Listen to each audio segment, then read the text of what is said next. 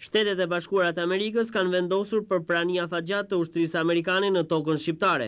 Zëvendëssekretari amerikan i Shtetit për Mbrojtjen, Caldera i është përgjigjur pozitivisht ofertës së kryeministrit Majko për të nënshkruar mes dy shteteve një memorandum, i cili do të ligjëronte qëndrimin afatgjatë dhe misionin e ushtarëve amerikanë në tokën shqiptare.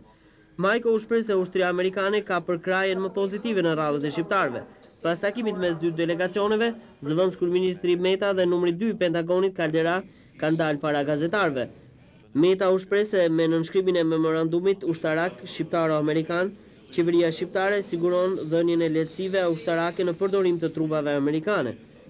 Qeveria shqiptare do të kërkojë dhe një memorandum për një prezencë afatgjatë të Shteteve të Bashkuara, të trupave të Shteteve të Bashkuara në Shqipëri dhe mendon se angazhimi i NATO-s dhe veçanti Shteteve të Bashkuara të Amerikës është vendimtar për një stabilitet dhe siguri afatgjatë në rajonin tonë.